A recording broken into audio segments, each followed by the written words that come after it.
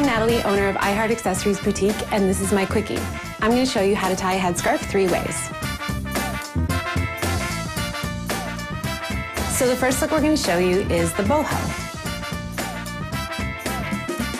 And so this is done going across the forehead, and you take the two ends and just give it a nice snug.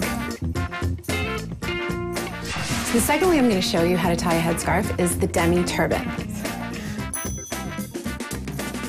So this just starts at the front and goes around to the back.